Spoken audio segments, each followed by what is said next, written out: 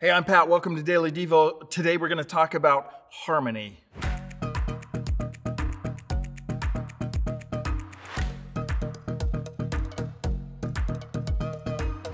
Do you realize that if I were to list all the assorted denominations within the church world, we would be here for quite some time? We have the Methodists, the Baptists, the Pentecostals, the Nazarenes, the Presbyterians, the Orthodox, and the list goes on and on and on. In fact, if you know anything about the history of the church, the denominations couldn't even see eye to eye, meaning the Baptists couldn't agree with each other, the Presbyterians couldn't agree with each other, the Pentecostals couldn't agree with each other, so they had to separate into a bunch of subcategories. So now we have American Baptist, Southern Baptist, General Baptist, Free Will Baptist, Primitive Baptist, Conservative Baptist, I'm right and you're wrong Baptist. Okay, I made that last one up. However, if you know anything about denominational fighting, you know that could be the subtitle for many, if not most, church denominations. We're right and you're wrong.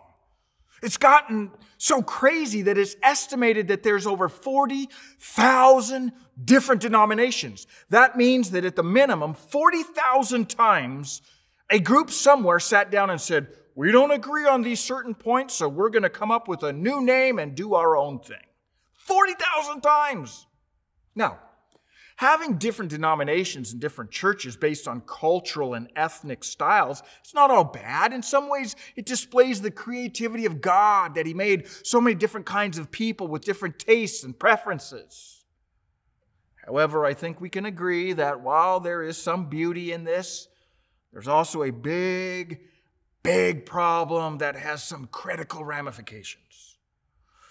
This month, we've been looking at some of the hundred one another's that are in the Bible, and there are two interesting ones found in Romans.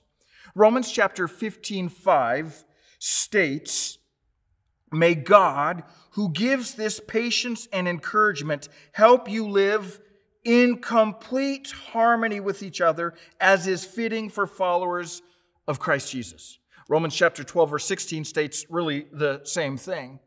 Different translations will say it slightly different, all of them giving us more clarity into the meaning of this verse. Some say, be of the same mind. Some say, be in unity. Uh, others say, be in complete harmony.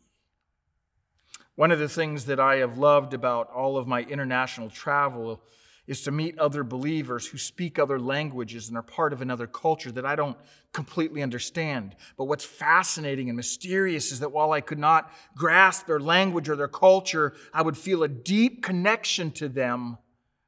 The old adage is so true spirit is thicker than blood. I was connected to them because we are the same spirit. However, this harmony, this unity, this, this being of the same mind that Paul calls for goes beyond just the spiritual. How do I know that? Well, on the last night of Jesus' life, as he sat with his disciples and he spent a considerable amount of time speaking about unity and harmony, at one point he's praying to his Father and he prays this prayer in John chapter 17 I pray that they would be one as we are one. Listen closely to what he says next. I pray that they would be one as we are one, so that the world may know that you sent me and loved them. Jesus is saying, I pray that they would be in unity. I pray that they would be in complete harmony. I pray that they would be of the same mind. Why? Why? So that the world would know. Clearly, this went beyond just a spiritual unity because Jesus is saying that when you and I are in harmony and unity, it is something that the world will sit up and take notice of, and this unity and harmony will point them to God. In other words, Jesus is saying that one of the best tools that we have to show people God is being in harmony and unity with one another. This brings up another question What does it mean to be in harmony or unity with each other? Does it mean that we have to agree on every minor point of doctrine? No, no, of course not.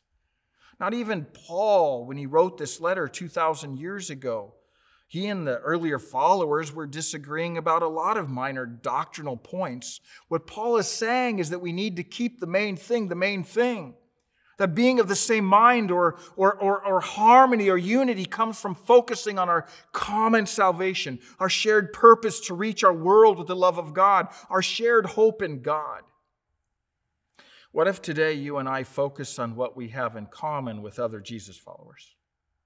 What if today we chose not to die on so many hills that don't really matter that much?